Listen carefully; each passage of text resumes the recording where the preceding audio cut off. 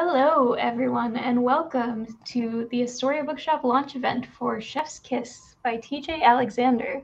We are so excited to share this book with you and hear from both TJ and our guest, Anita Kelly. I'm Laura. I'm the events coordinator here at Astoria Bookshop. Um, if you don't know who we are, we are a general interest bookshop located in Western Queens, and uh, we are wonderful, and you should buy a million books from us.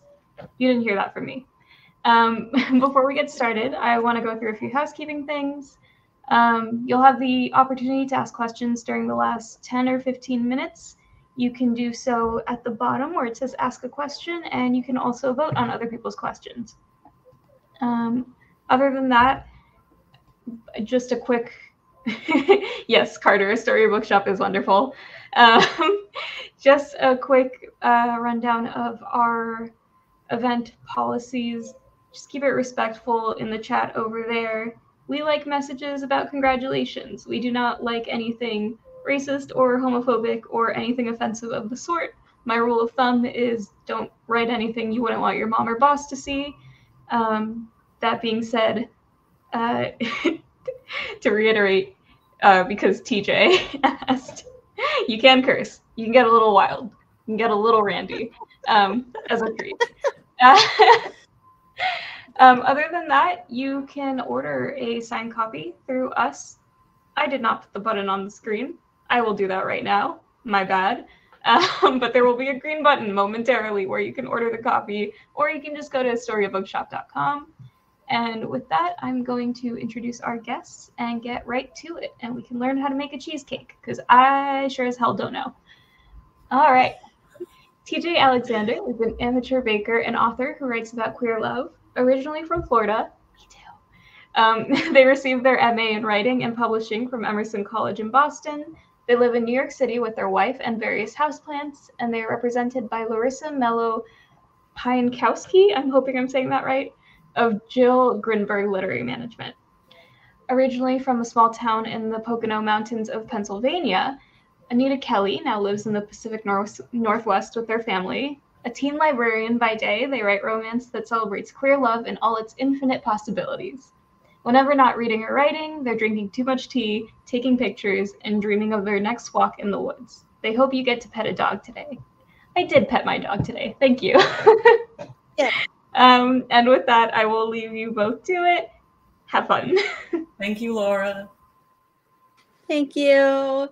Okay, first of all, I have to Anita. say I feel like my hi. I feel like since you're like a little bit further away behind your setup there, my face is like so much larger than yours. it's fine. I think I think it's great.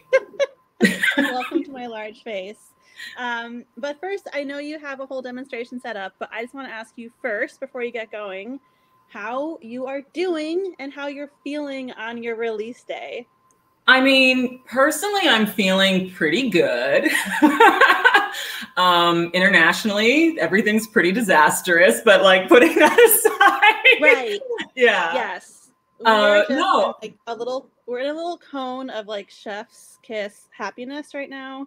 Good point. Yes, and I we're going love to, that. We're going to allow ourselves to to celebrate. because you because you deserve that. So Thank you. Yeah. Um, my therapist agrees.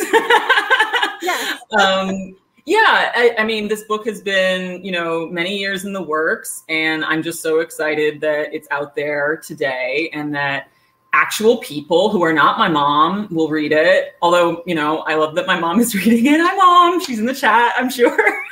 If she can figure it out. Um, and yeah, I'm just stoked that the excellent, brilliant champions at my publisher Atria have just, you know, worked their butts off for this. And, you know, today we get to kind of celebrate the book and celebrate them. And yeah, I'm I'm feeling really good about it and I'm really glad to, you know, hi mom. uh yeah, I'm I'm I'm just like having the best time, honestly. Um I really am. That's awesome. Do you want to see me make a cheesecake? I do. I'm like Okay, so thrilled by this. Yeah. I heard that TJ was going to like cook on camera. I'm like, wow, that is way more than I was able to do on my release day. So I'm no, totally I mean, let's be honest, it's Tell us what probably more doing. than I'm able to do. We haven't gone through it yet, so let's not like let's not uh, no, promise no too much here. Yeah, this this was an idea that um, me and Astoria Bookshop cooked up. Um, we thought it would be fun, and let's I guess let's just see how good I can multitask. I guess uh, this is a cheesecake that comes from the book, and it's based off of the first thing I ever learned how to bake, which is my mom's cheesecake. Uh, kind of zhuzhed up a little bit and made a little bit fruity, like me. so. um I guess I'm just gonna do the whole Ina Garten thing if everyone's cool with that. Um, Oh. yeah, this is one stick of butter melted that's been sitting here for a while, but let's not worry about it. And this is like most of a box of vanilla wafer cookies, not name brand. They don't pay me to talk about them. Um, crushed up with two tablespoons of sugar, just for just for fun because they don't have enough sugar in them, I guess. And um, this is going to be the crust because in the book, Simone, who is a actual chef who knows what she's doing, um, makes a short crust pastry, and I'm not going to do that. Sorry. I mean, no one needs to do that. If Nilla Wafers and the good people at Nabisco have done all this for you, basically, then I don't see why you would do anything else with your time. So, anyway, that's it. You, you just mix that together and press it into a nine inch springform can. If I can interject real quick, I have never, because you know, you always hear about cheesecake often going with graham cracker crust. I've never known the Nilla wafer like hot tip. That's amazing. Yeah, I mean, you could do a graham cracker crust. I just think with all the tropical fruity stuff that's going on in there, that like the cinnamon is a little bit of a weird note. Um, yeah. Yeah, in the original version of this cheesecake, it's actually made with Zwieback crackers, which is something that nobody eats anymore outside of like the Rust Belt. So, so I decided not to. Um, not to. I'm gonna just do it with my hands, which are very clean. Nobody freak out. Um, but yeah, Nilla wafers, basically any digestive biscuit. If you're a British person that eats digestive biscuits, anything like that, you can just pound up and make into a crust, and then you don't have to make pastry. Which who has time to make pastry? Not me. Right. All right, so that's done, and then it goes into the oven for 10 minutes at 350, and then and then more things happen, which you'll see. I should plan this out better. I'm sorry. uh, so yeah. Anyway, that's that. Into the oven. All right. And now I should set a timer because if we if we leave that, that would be disastrous yet charming. Um, so yeah, what can we talk about while that's doing its thing, Anita? Yeah. Um, well, first of all, someone just said that it's hard to hear me. Sorry, I will try to shout a bit louder. Um, but yeah, so actually, as that's cooking, um, so I was really struck when I read your book um, about how much you clearly do know about cooking. Um, because I also have a book out about cooking, but I don't know anything about cooking. And it was very obvious when I read yours that yours is different. So I was just like, um, interested in a little bit of your culinary background and like how you came to write a romance that's based around the food world. Sure. Well, first of all, if y'all haven't read Anita's amazing, amazing book, Love and Other Disasters, it's great. It's beautiful. I honestly, I'm not just saying this to be funny. I laughed and I cried, and it's just a great book um, about food. And yeah, please, please read it. Um, and I wouldn't know from reading that that you don't know anything about food because it all sounded very, very good. Uh, but yeah, my my culinary background is. Um, uh, I mean, I grew up in restaurants. My parents ran restaurants, and so I I did kind of every job in a restaurant but cooking while I was growing up. And I never cooked until I was a much older person. And then I kind of was taught how to cook via like Food Network and like all the greats and Alton Brown and Ina and just like those were my heroes like you know, in my little college kitchen trying to figure out how to make pasta. Like um, that's that's how I learned how to cook was from TV. And so yeah, um, when I got older and baking became um, this hobby that kind of like helped me relax. Uh, I just I got really into that because it made me slow down. It made me instead of just kind of like do things on the fly, which I think cooking is is more of a you know just try things and see what happens. And if it doesn't work out, it doesn't work out. Baking is a lot more strict. You got to pay attention to things. And maybe the people who have joined us tonight have noticed to um, work on that skill sometimes. So baking helps me, no, you know, not just calm down. It helps me like keep on track and uh, keep focused. So yeah, my I'm a complete amateur when it comes to cooking and baking. Everything I do is just like home recipes and stuff that's really easy because I'm not a professional at all. Um, Dana, that's a lie. She's in the chat telling people lies. telling people I'm really good at it. I mean, I do love it. I do love cooking and feeding people. Mm-hmm. Um, but yeah, most of the recipes in the book were just kind of dreamed up as like, if I did have skills and knew what I was doing, what kind of food would I try to make? So yeah, that's where things like this this cheesecake came from. I I'm trusting the people in the chat that you know what you're doing. Dana's mom is in the chat. All the moms are now in the chat yelling at me. This is amazing. I'm sorry, oh, moms. I didn't mean to call anyone a liar. I'm so chagrined. uh, yep. I think we lost Anita. Okay, here I am. Is Anita back? Yes. Can you hear me now? Uh, yes. Yes. Hi. Oh God, it was just me for a minute. Man, was that scary. yeah. No, I will say um, too. Uh, so, and I'm sure you probably had this same experience, TJ, when we found out about each other's books. I was like, oh, someone wrote the same book as me because we both of our books are about cooking and they both have um, a woman and non-binary character uh, pairing. But then when i so i had this like little panic you know moment like oh okay someone else wrote my book. But then i think we both you know have talked about when i actually read your book um, i loved reading about um, like how different and how similar our books were. And i feel like it really reinforces the idea that you can never have too many like you know queer stories or oh absolutely too many non-binary stories. And um like all the parts we had that were similar were just like really comforting to me. And yes. then the parts we had that were so divergent were just really like fascinating. Um so i'm just like so glad that both of our books exist out there and that there are now like multiple like books, you know, that you can buy at Barnes and Noble that have a non-binary love interest, and it's just, um, it's just yeah. No, totally. Because I think you know, I I went through the exact same thing of like as soon as. I think the day that my deal announcement um, was up on Twitter, the very first like tweet I got from some random person who wasn't my mom, like saying, "Oh, I'm so proud," was some person who was like, "Oh, another like non-binary foodie romance," and I was like, "Wait, there's another one," and like I didn't care for the tone, but I was also very excited because, like, obviously, I want to read a non-binary foodie romance because, like, that's what I wrote. That's obviously what I want to like check out. So yeah. yeah. I mean, I was, I, I, you know, I was nervous that people would assume, oh, they're the same book.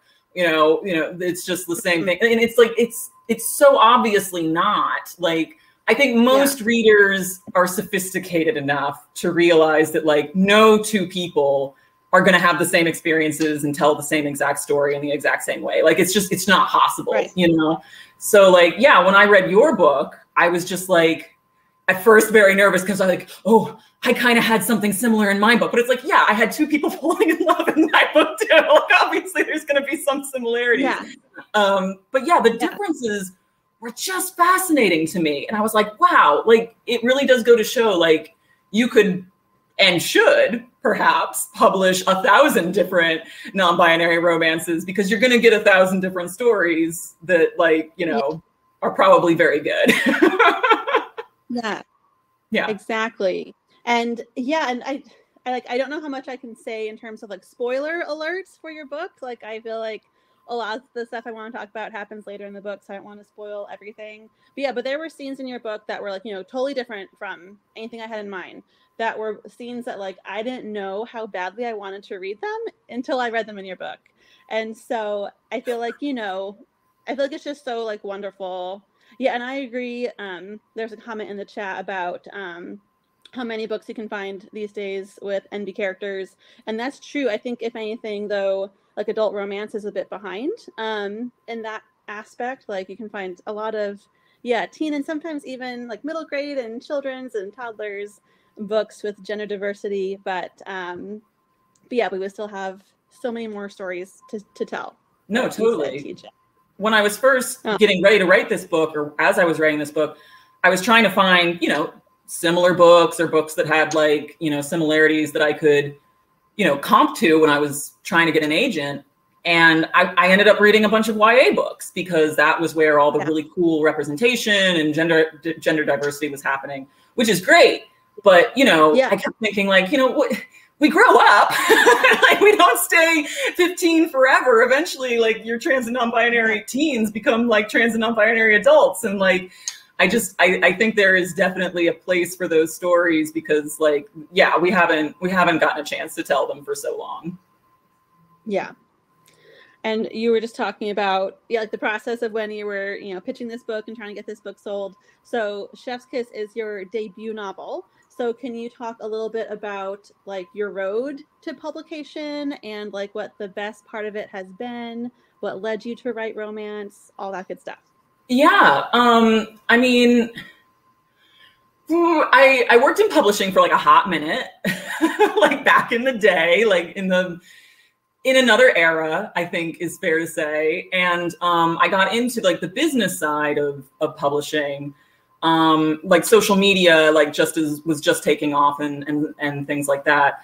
Um, I got into that side of the business um, because I was under this impression that you know to be to to get into the writing part of it was just going to be too difficult and that the stories that i wanted to tell like no one was ever going to buy them um, which at the time was probably true so i'm not going to beat myself up too much about it. Uh, but yeah I, I studied english in college and and then later went on um, to to work in publishing. Uh, we both went to emerson i think. So yeah, I did my grad my grad school program was um, the publishing program at Emerson, and um, I so I went uh, into the industry on like that side of things, and I just I wasn't I wasn't very good at it. I'll just admit I had a very you know for people who read the advanced, you know, readers copies or have read their copy already, you know, I don't think it's a huge spoiler. It's on it's on the it's on the back copy that Simone ends up having to do a lot of social media stuff that she's just not comfortable with and, or doesn't want to do. And I think a lot of of that comes from my current attitude of just like being really really wary of you know that stuff and knowing how easily it can like take over your life and and you know make you into this person who's just obsessed with stats and um, oh, sorry, that's my timer. That, this is so rude of me. I should plan this out. No, better. you're fine. No, you get you get your crust. Yeah, no, I'm gonna turn my back to the audience, which is always great to do. No, I'll just interject. Um, yeah, quickly, and then you can continue your tale. But it's just so funny as you're talking, like how many things we have in common, TJ. Yes, because as you said, I also went to the writing and publishing program at Emerson College, which was great, and it is mainly geared towards like, yeah, putting people into the publishing industry. And yeah. I think I went to like three interviews, like in you know the publishing world, and I was like, mm, this isn't for me. like I am not going to be good at this, which I kind of knew going in. Um, but at the same time, yeah, I'd also kind of like lost my faith in my ability to write a book like while I was in the program. And so it's just like, mm, maybe this isn't for me until, yeah, you know, 10, every 10 writing later. class I was in or every like writing workshop that I ever took, it was like I was writing these stories about people kissing and everyone else was like very literary, very highbrow. Not that there's, yes. you know, Yes. We love a literary novel once in a while, but like sure. Know, I would show up with my stuff, and everyone would just kind of be like, "Oh, mm, okay," yeah. you know, it just wasn't the right audience, I think, for what I was trying to do. so um, yeah, so I, I was like, well, I guess I guess people don't want to read this stuff.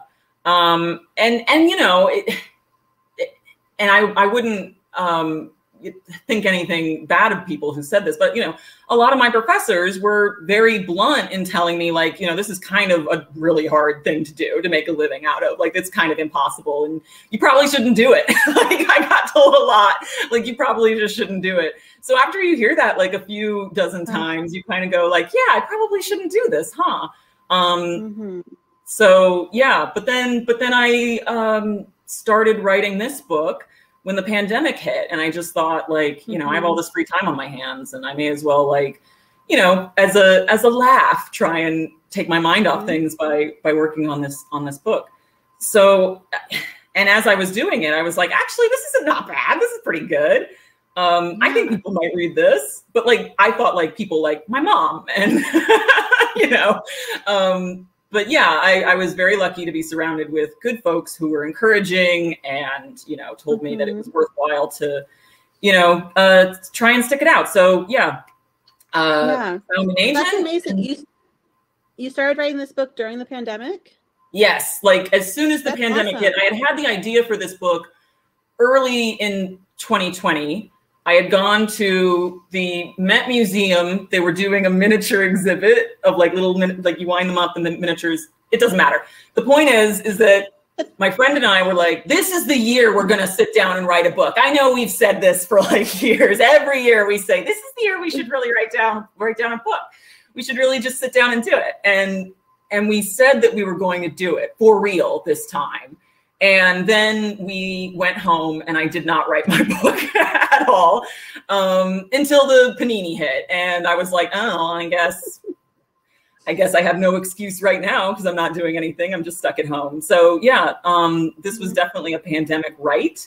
Uh, it took me um, un- it was an unhealthy amount of time that I spent writing the first draft. It was like five or six weeks, uh, and then and then there and then there she was. There was a book. Wait, wait, sorry. Sorry. Did yeah. you say that you wrote the first draft in five or six weeks? I know. Oh, I know. It's not good that's for a person's fast. psyche. I mean, I just I fast. Yeah, it was very fast. And I don't think I'm a fast writer normally, to be honest. But for whatever reason, this this went very fast. Probably because, you know, I had kind of the outline shaken around in my head a little bit. So that was good. I, I kind of had a um, a head start on that and I had no distractions. I had like a dearth of distractions. I had negative distractions. Um, and and so that kind of forced me to actually finish it uh, in, instead of all these other projects that maybe in the past I would have you know started and then stopped and you know gotten mm. sick of and put down. So so yeah, that's that's kind of how the process went. I wouldn't recommend it to anybody because um, it, it was it was not a, a good way to write a book, but it was the way I did it. So I love that though. The inspiration was there. You went for it. Like that's that's amazing. Because yeah. like for um, people who aren't familiar with the publishing process, like to write a book that fast and then get it published within a couple years, like that's incredible. So I just think that's really cool. I, I was really lucky. Like the process went pretty fast.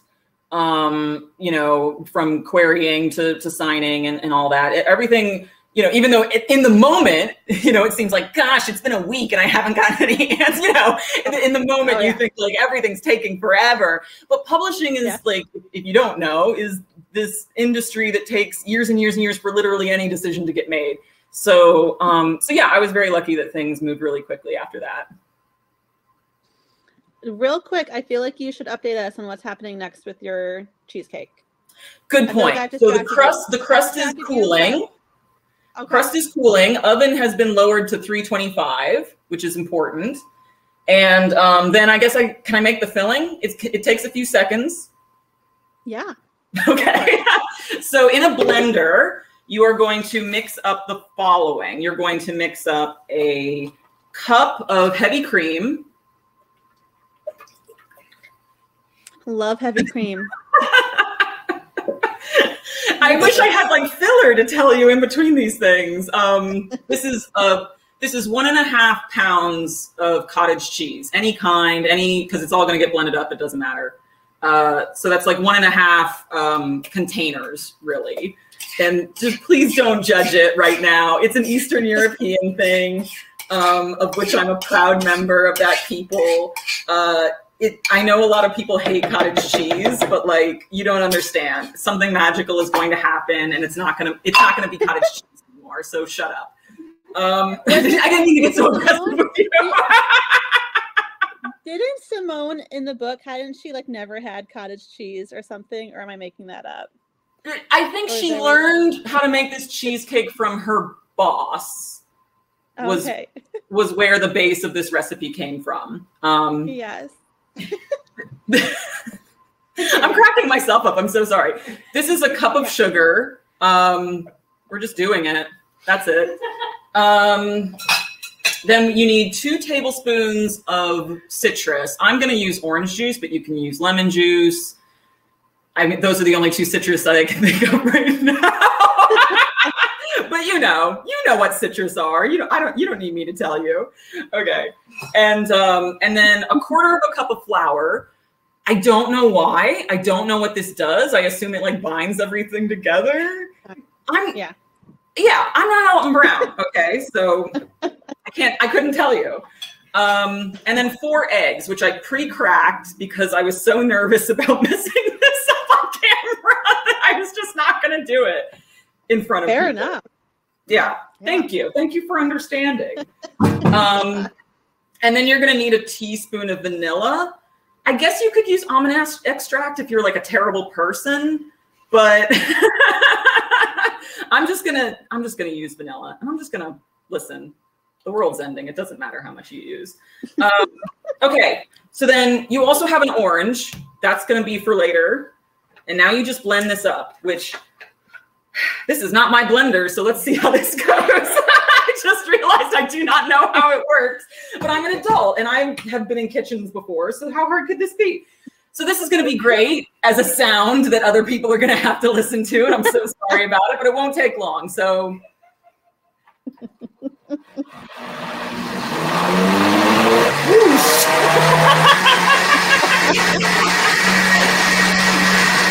That's a blender.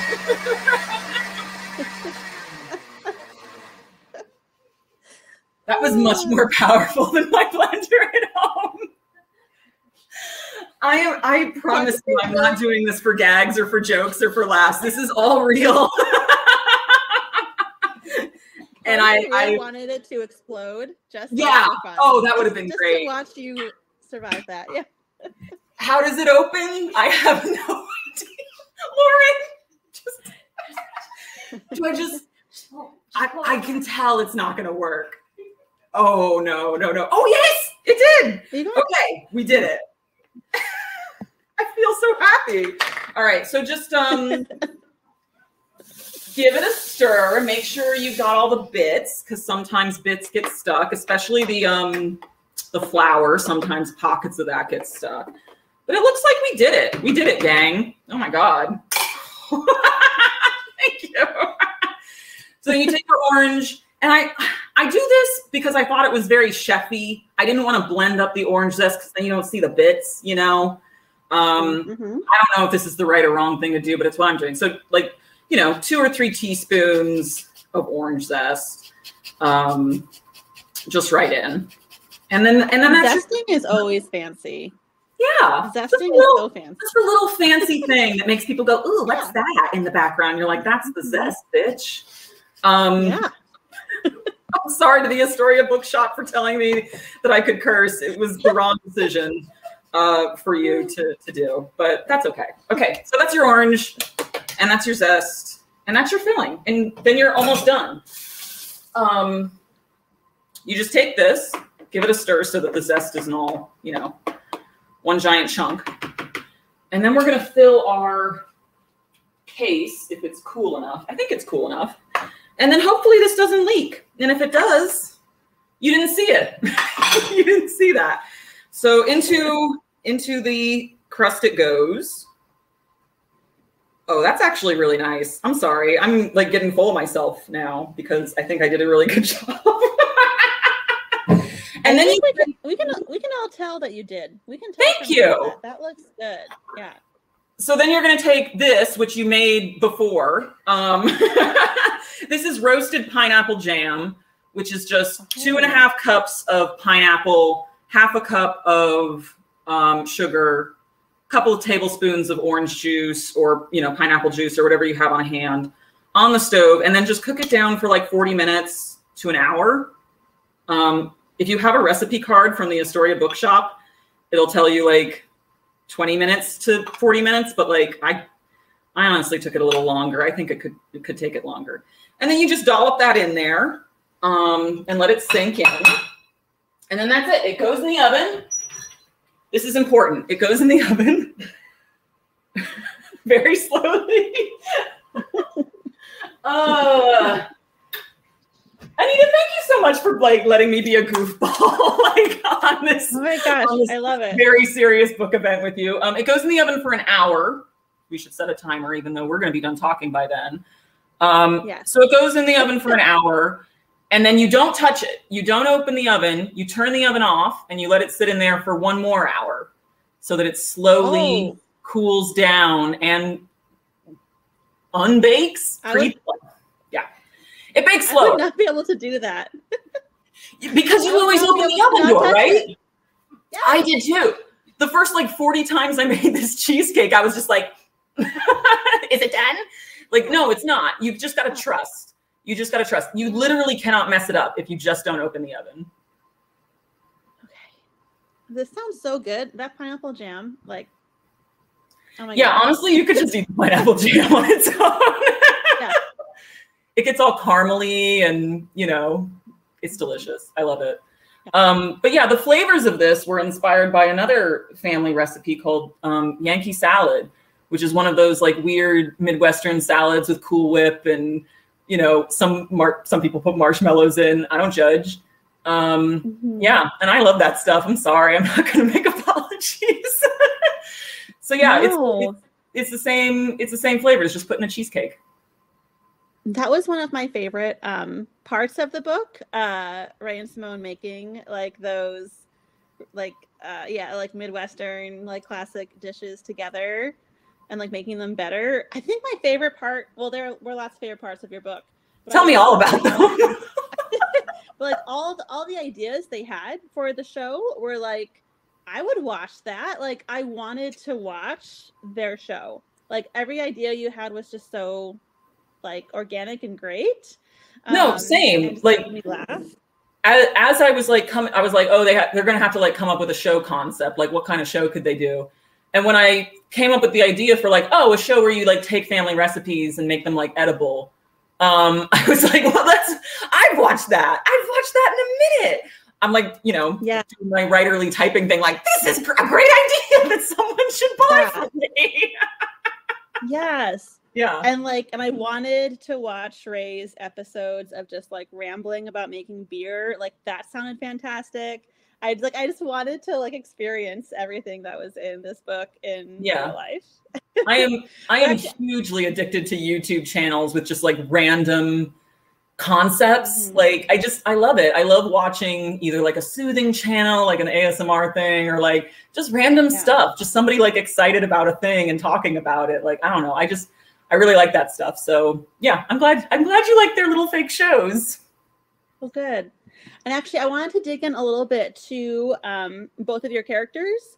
Uh, Yeah. Because I did love this book so much because, I mean, I love character driven stories, and most of the time, romance is character driven. But I thought both of these characters were just so like strong and unique, and I just love them. Um, and so the book is told from Simone's point of view. Um, and Simone was just such a great character. I I was just really into her. And so I'm curious like how you developed her and like why you decided to tell the story solely from her point of view and basically how she came to be. Yeah. Um, I think when I was kind of like thinking of Ray and Simone as like, you know, fully constructed people, like I started with a very basic idea that like one of them's going to be grumpy and one of them's going to be like a giant Labrador retriever, sunshiny puppy type. Cause I, I really like when a couple in a romance has that dichotomy. I think it's very funny. Um, you know, there's like a lot of natural humor that comes from somebody who's just like there to have fun and make friends and someone who is not there to have fun or make friends. Like, you know, a lot of the jokes come from just like how funny it is to see them interacting when they're so different.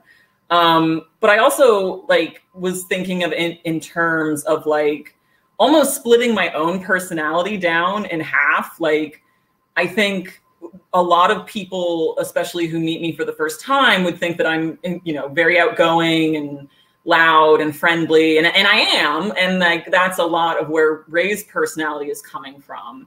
But I think that you know, inside, a lot of the time, I feel a lot like Simone. I'm very anxious. I'm a little bit of a perfectionist. You know, I'm always worried about how I look to other people. You know, all that stuff that you talk about in therapy. so yeah. writing these two characters kind of learning how to get along and then like actually like you know getting to the point where they're like really strong friends and their relationship is really strong and then to the point where they're like defending each other and loving each other like that mm-hmm. i mean it's a little cheesy but it was a little bit of like you know me being able to tell the two halves of my personality like you know you're not fighting all the time or you don't have to fight all the time like you know you actually yeah are you know you can complement each other like you can work together really well mm-hmm. so that was that. yeah thank you and you and you wrote them like their interaction so well like i would definitely call this book like a slow burn um because they really do get to know each other like you said which i am personally very bad at doing. I want them to kiss after like chapter two. Well, so, I'll just I'll just say your book, which is very very steamy, and and I I mean I love that. I loved that like it was kind of like a almost at first sight, like, where's the nearest horizontal surface kind of thing. Like that was very cool and hot. Um, and you know, A plus, gold star. Uh, I think the they're, they're both burn, great ways of telling stories, though. Yeah, the, yes, yeah. as we were saying before, like there's a million ways to tell, uh, a, you know, all these different love stories. And for this story, um, I knew that because they weren't going to get along at first, like really not going to get along at first, that it was going to take a while for them to develop enough of a connection for the reader to believe that they would even like, you know, be in the same room together and have a good time. Um, yeah. And I felt like if they if they wanted to go along on that ride with them and see how that mm-hmm. happened, um, then it could be really cute and and and fun. So um, yeah. I, I, know that slow burn isn't everyone's thing, but yeah, it worked out for this. Yeah. Well, because I, I feel like what I liked too about their relationship is that even though they were like oil oil and water, like they were never like disrespectful of each other or like mean to each other. And so like they still had this like respectful relationship that then they could just like build on. And so it wasn't like because sometimes in enemies to lovers, I feel like they're just like bad to each other and i'm yeah. like this isn't romantic like this isn't romantic to me. Um, yeah. like i could like but i like rooted for you know Ray and simone from you know the beginning and i feel like you just wrote like their interaction so cleverly. Like i think one of my favorite parts was towards the beginning when simone types this very like professional email to ray and is like we are going to be professional at work or, or whatever she says. And like the punctuation is perfect and everything is like kind regards. and then yeah, and then I think Ray responds with just Roger that. And yeah, just like okay.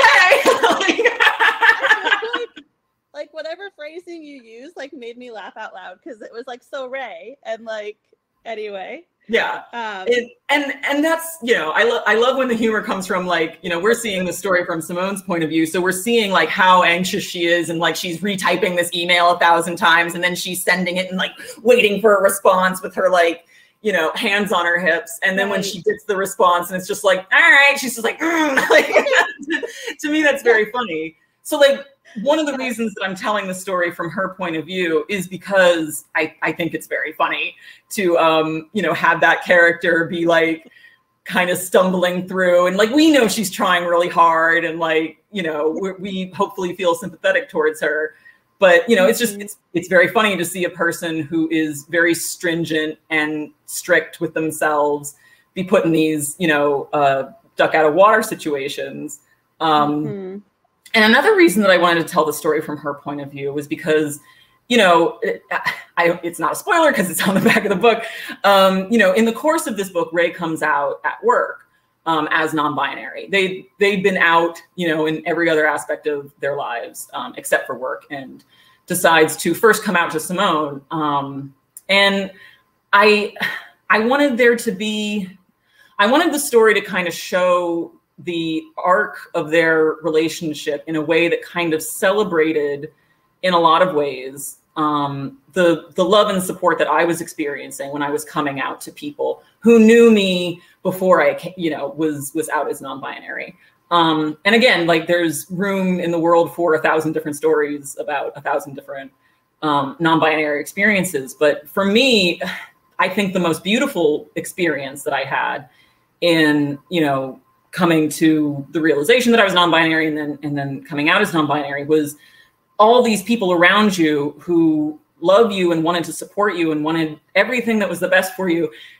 Sorry, I'm getting a little teary. Um, and they don't want to make a mistake. They want so badly not to hurt your feelings mm-hmm. or do anything to like set you back or or or anything like that. And it's just it was a beautiful thing to experience and also uh, very funny also very funny to have you know these people who are trying really hard to like um, be a good ally or, or, be supportive of you but not knowing what to say and sometimes saying mm-hmm. something that's kind of silly um, and I wanted to kind of celebrate that. And the best way I thought mm-hmm. to do that was through Simone's point of view, um, because she's the person that's experiencing this, getting to know a person as, you know, one way. And mm-hmm. then, um, you know, being told like, oh, actually, my pronouns are they, them. And that's kind of all that's changed. And the sort of like struggle slash love that comes out of uh, somebody who's trying to, you know, support someone um, who says that to them. So, mm-hmm. yeah, I I really, I'm really glad that I got to tell the story from her point of view um, because I, I thought it was an important story to tell. Oh, don't That's get teary story bookshop. It's so beautiful. it is so beautiful, and and I love that. Um, yeah, it was really interesting to me uh, reading this book just personally because um, with Ray coming out later in the book, um, but I had, you know, known from the beginning because I read the synopsis, like you said, that Ray's non-binary, and so I feel like, at least like as a queer non-binary person, I just read them as non-binary like the whole time. Like I feel like my brain kind of just like read over, you know, like blanked over the she pronouns until like you know it switched. Um, but it was great seeing that transition in um, Simone's mind, and I and I think it was very realistic, like you said, that you know she doesn't get things perfect and she you know messes up a few times and but she wants to um and i think it's unrealistic yeah that people will magically just get everything right you know when a person that they love you know changes something like that about themselves in their mind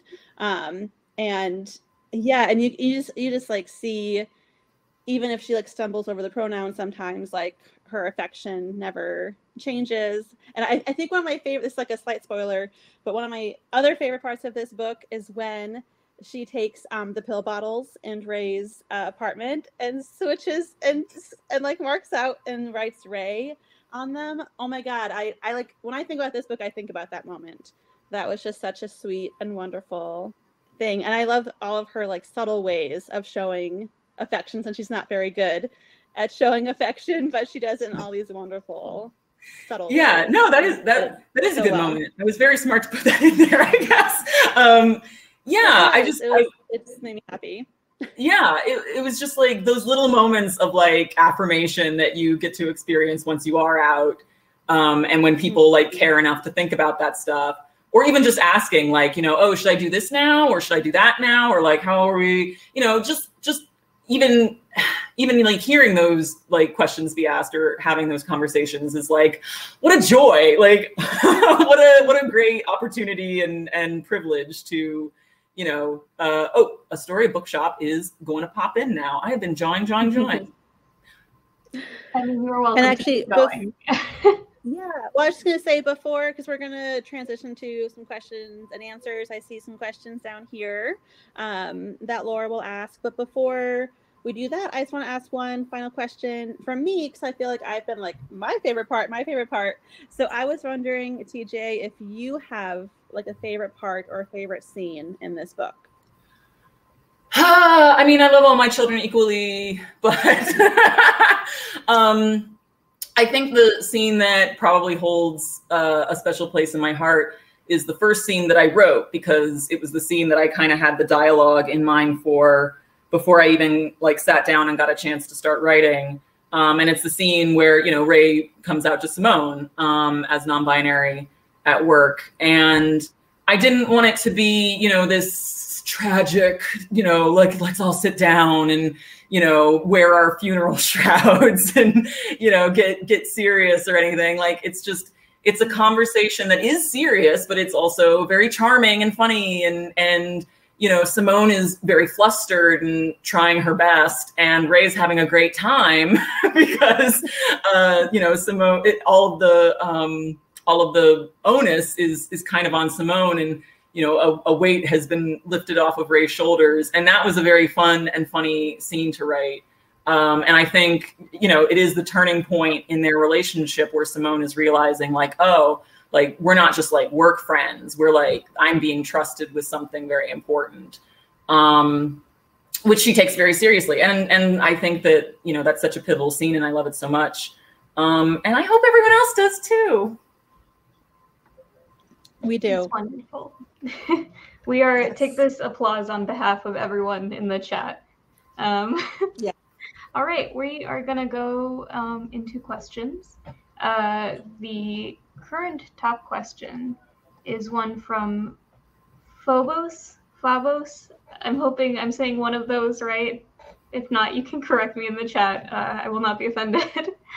um, TJ, when you were researching, what were some of your favorite YA and NA or adult, if you can think of any, books with non binary representation?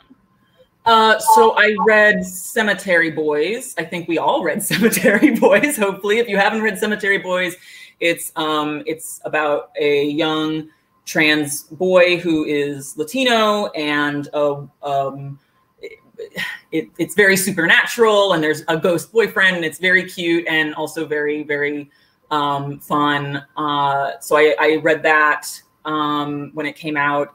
I read uh, Steven Salvatore's um, Can't Take That Away From Me, which has a genderqueer teen lead in it um, and a very uh, sweet and heartwarming um, and heart wrenching uh, story about you know trying to navigate uh, high school as a genderqueer young person.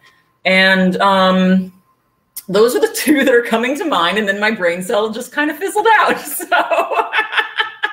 Those are two great answers. Thanks. Um, mm-hmm. Anita, do you have any like favorite non-binary reads while we're on the subject? Um, sure. Yeah, I think one of the first um, adult romance books I read with a non-binary lead is called The Love Study by Kris Ripper, um, which is published by Carina Press. Uh, Carina publishes a ton of queer um, and trans stuff. If you haven't checked out their catalog, um, but yeah, and there, um, I know Kris Ripper. Kris Ripper just came out with a new book. I want to read it so bad. Um, but in the love study, it was interesting because their non-binary character, um, like never once, like you never once uh, see mention or a reveal of how, um, you know, they were born at birth, you know, the sex assigned at birth. And so that was really interesting to me. Because that actually was how I originally wrote um, Love and Other Disasters, but then I put in more about London's backstory and to change that a little bit. Um, but anyway, just a really sweet book that also has to do with YouTube channels and uh, stuff like that. Um, so I think if you, yeah, love Chef's Kiss, you'd also love um, the Love Study. Um, and I feel like I'm also blanking. I feel like when people like, you know, well, ask me about books, I'm like, I've never read a book in my life. But I will say um, I've never read a book. After, but so like in the span of the last two months, I read um my friend's book, which isn't out yet. It's currently on sub. So it's being shopped around to editors. Um, but it's an amazing trans romance. Uh, it's a baseball romance about uh, like the first trans baseball professional player and it's it's oh my god it's so good. I can't wait until it's a book. Um, and then i read your book tj and so it was like in a span of a month or two getting to read these two fantastic trans romances and it was just like so amazing and affirming. And so i just can't wait until yeah there's even more out there a million a thousand we need more yeah. more more please Yeah, it like filled a hole in my heart that I didn't that know I had. everyone needs to uh, fill up their cart on our site quickly with all these titles because these are great recommendations. um, all right, Carter came through with a great question. Um, shout out to Carter. Uh, what were the best things you baked while writing this book? What's the cat's name, first of all? this is this is Cleveland. Cleveland, hello. A beautiful cat. Okay. Um, sorry, the question. Things that I baked. Best things you baked during the ride. That distracted all of us. I just completely derailed. I'm sorry. Um, yeah, so uh, like I said, I'm kind of a home baker. I don't tend to do things that are super complicated, but while I was writing this book, there were some things where I was like, oh, I'm going to need to know how to make this because Simone knows how to make it. Um, so the galette, which is, I think, the first real thing that we see Simone bake to completion. I don't like that phrase. Um, the first thing that she we see her bake and eat um, is this autumnal galette which I kind of dreamed up in my head as I was writing. And then I was like, I probably should learn uh, what a galette is. so um, yeah, I, I used good old King Arthur Flour's website to figure out how one would even make a savory galette. And then I played around with it until I figured out how a person in the real world would make that. So that was fun and very cheese laden. So I'd eat that again. Um, other things were not quite as successful, but fun. I learned how to make a lot of chocolate desserts for a trifle, which um, I don't think belongs in the real world. It's just too much. It would kill you to have more than like three bites of it. um, I could just hear like Prue Leith in my head going like, ooh, ooh, quite a lot of calories, you know. I don't know if it's worth it so um, but, but, it was fun. It was fun to try something that i would never have normally done in like a home kitchen. Uh, yeah. Those are wonderful. I have never heard of either of those but a, a, galette is like a pie that you didn't try so hard. Mm-hmm. you just kind of yeah. fold it into like a big okay. hot pocket situation. Confession i felt like i like could probably like... last on the list for me in terms of favorite desserts. Oh Sorry, Anita, were you saying something? Oh, I was going to say that I felt like I could like taste that galette when you described it in the book. Like all of your food descriptions were just so good. It made me so hungry. I'm hungry. I was very hungry while while writing. um. All right. Let's see. Oh, this one's from me, if we don't mind. Um, but as a lover, as a lover of like enemies to lovers and like the grumpy and sunshine kind of dynamic, what is it about that that appeals most to you? Like, why why that trope? Um, well, I think I think like I said before, I think there's a lot of inherent comedy and in, in opposites having to to interact when they're coming from different goals, right? Like Ray's goal is to make friends and influence people. And or not even influence people like they don't really care that much about influencing people. They just want to like have fun and make friends. And simone wants to be at the top of her class and be perfect and get gold stars and and all of that stuff. And i think um the best part about grumpy sunshine is seeing them kind of do a role reversal at certain points as we watch the characters grow um, you know, the the grumpy one gets soft for the sunshine one, uh, which is always fun to see. And I personally like seeing the sunshine one get a little, you know, a little bit hardcore, a little bit, um, I don't know, uh, rabid, a little bit feral uh, at certain points. I think it's really interesting to see when characters kind of break out of their, you know, their their mold and um, I think there are a couple of points where we get to see Ray and Simone do that, and I think it's really fun. I love that. Um, Anita, did you did you want to jump in with anything? Since I know you're also a a writer of these kind of dynamics. Yeah, I agree. It's just so fun to play with. But uh, what I think, sorry, my dog's being annoying. Um, what I think, what I think you do so well, TJ, and yours too, is that like even though they're so different, they never try to change each other. And so like yeah like you know yeah simone does get like a little soft and um like you see like ray be a little more serious at points but they're still like consistently themselves throughout the entire book and so i think when you write two characters who are very different it kind of gives that opportunity to explore the idea of like loving other people without reserve and like not because of like you know how they complement you but just for who they are um, and I think that that is like a really powerful message. Um, in addition to just getting to write lots of like funny hijinks when they're so different. that was really smart. I should have said something like that. oh, oh, no! no. I need Sorry. to come back, say smart Sorry. things. Sorry. Sorry. You were like, and that was me, and I'm out. no, I froze, and so I needed to be to unfreeze myself. I was in a very unflattering position. Anyway. Uh, no, but but you're right. I I really dig when you know people who are super opposites or or very different from each other, like come to really enjoy those you know differences in the other person and not try to you know mold them or change them into something that they're not. Like that, I'm not into that. Um, so yeah, I totally get it. Um, okay, I think you might have touched on this earlier. Um, Allie asks, "What was your favorite part of the publishing process?" Oh, so many. no, I mean, like like we were talking before, publishing is really slow and you know anticlimactic sometimes. Um, but I think my favorite part of the process was one working with an amazing editor, Laura Jones at Atria. Um, she understood like right away what I was doing. She, she, what? One of the questions is from Laura Jones. Oh, is this question from Laura Jones? TJ, what would you say is your favorite part of the process? And be sure to spell my name correctly. no, um, Laura Laura understood right away what I was trying to write and what I was trying to do and what kind of story I was trying to tell.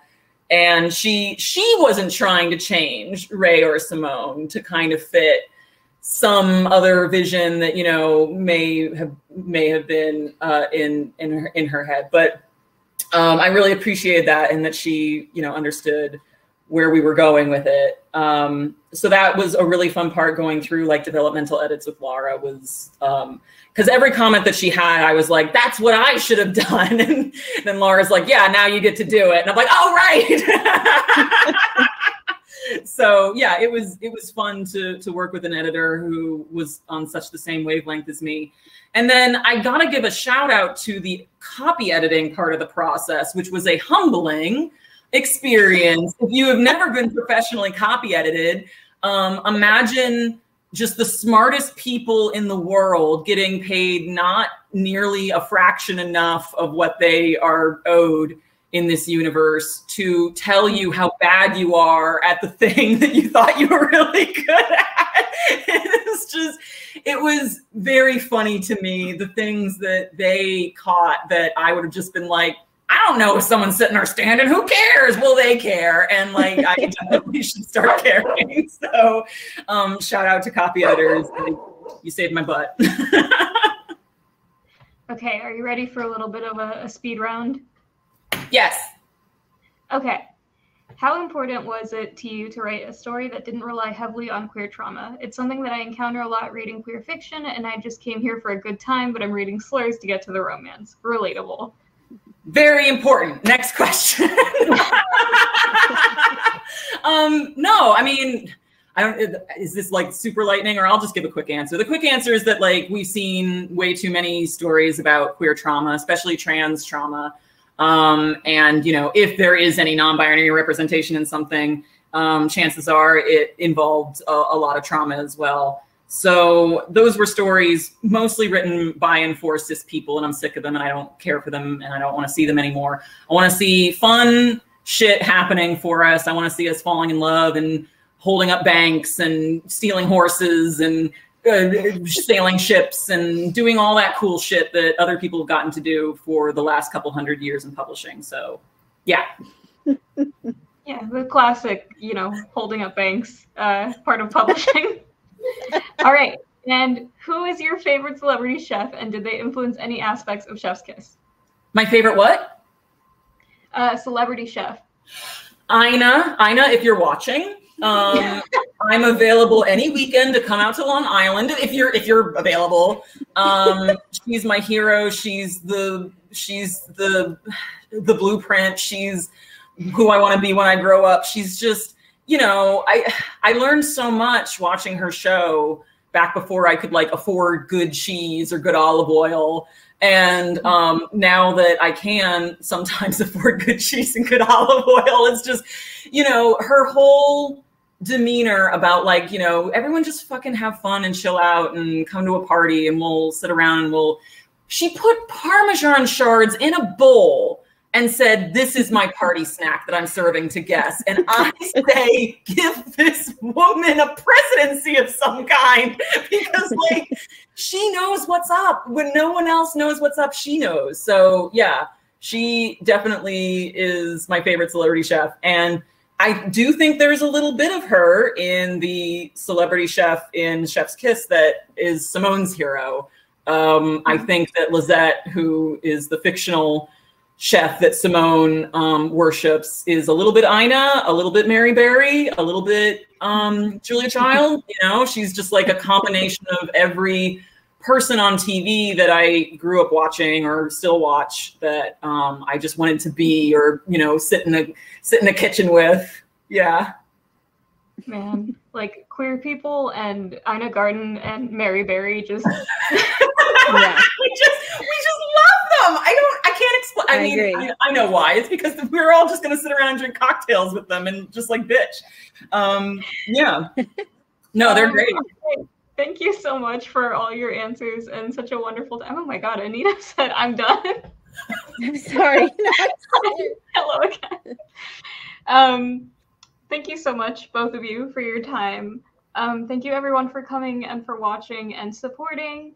Uh, don't forget to get your signed copy of Chef's Kiss if you haven't already. There is a little green button down there um, where you can get it. And also, while you're on our website, there's this great book uh, called Love and Other Disasters. I don't know. Maybe maybe pick that up too. Couldn't hurt. Oh, before we go, do you want to see the final cheesecake? What it'll look like when it comes out of the oven? Yeah, yes. sure. Sure. okay. Really quick. Okay. So there she is. She's lovely. She's got. I mean, it fell in the taxi, so I'm really sorry. It's not like perfect. but uh, yeah, it's a lovely cheesecake. It's huge. It feeds a family of many, and it's got your little pineapple bits, and it's just it's a delight. So please make it if you want to spend a couple hours in the kitchen making a cheesecake. Thank you. Um, yeah. And now you get to go enjoy it and just eat your cheesecake and enjoy the rest of your night, TJ. I'm so excited. Thank you. I am going to eat this entire thing. yes, I'm going to order it. some. all right.